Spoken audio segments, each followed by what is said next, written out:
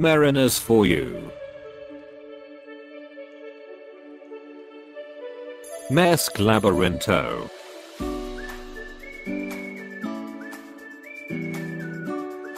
Was built in 2012 by Daewoo Shipbuilding and Marine Engineering Limited in South Korea.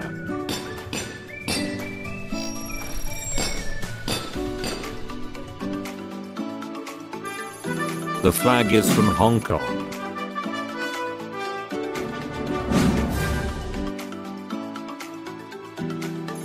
The twist lock is semi-automatic.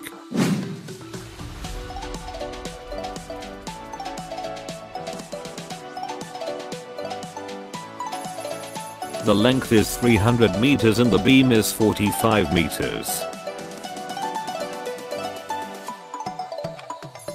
Three levels catwalks.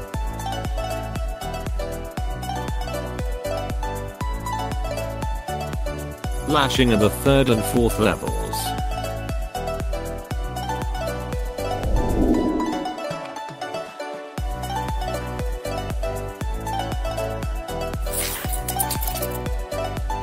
Eighteen bays. Four bays behind the bridge. 14 days after the bridge.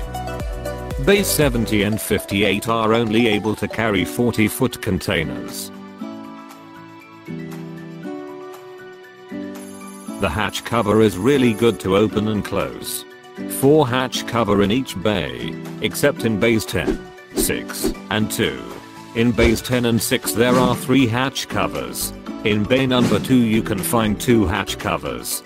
Don't be a stranger. Subscribe here. Thanks a lot. See you soon.